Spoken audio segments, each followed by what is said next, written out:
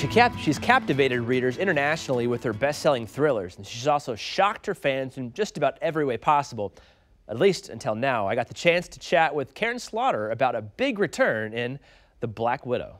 When my uh, producer was talking about reading your books, she said that they had such great writing. She had to take a pause and stop reading for a moment. She was just thinking about all the things that had happened to the characters. Well, first, I should say your producer's a really smart lady with good taste. yeah. uh, but yeah, you know, I write my books to entertain people. I love thrillers. I love the twists and turns.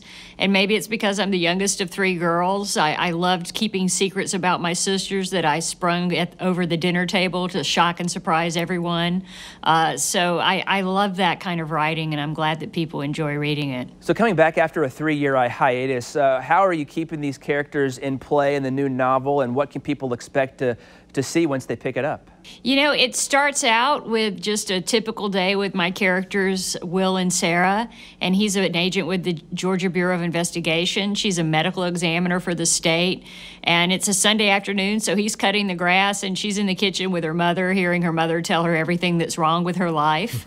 and suddenly there's an explosion and they run outside and they realize there's a plume of smoke coming from the local university. And this is also where the campus for the Centers for Disease Control is. Uh-oh. And that's where the, the story really takes off. So where do you get your inspiration for these these stories? I mean, you, you've created a universe, so it's got to be just like whenever you're driving around or doing housework or something, all these things pop into your mind. And I mean, how do you take that from these ideas into these big, wide, huge storylines that you've created?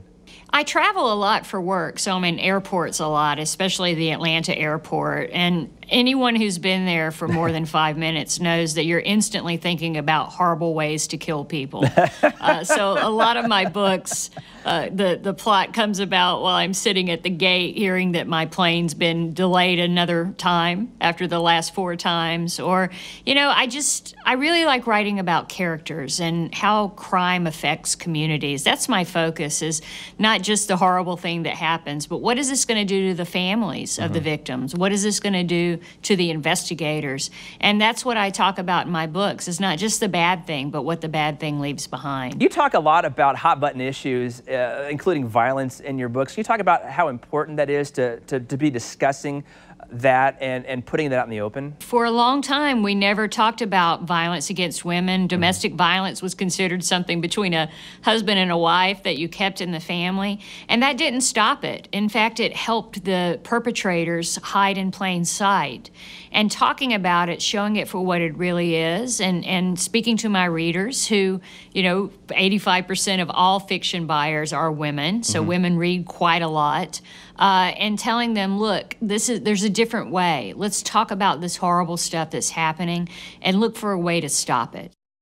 And the soon to be eight part Netflix adaptation is uh, of Karin Slaughter's best selling novel, Pieces of Her. Uh, one of our producers has read most of her books. It says uh, that is the Karin Slaughter book for an adaptation. So can't wait to check that uh, again coming to Netflix.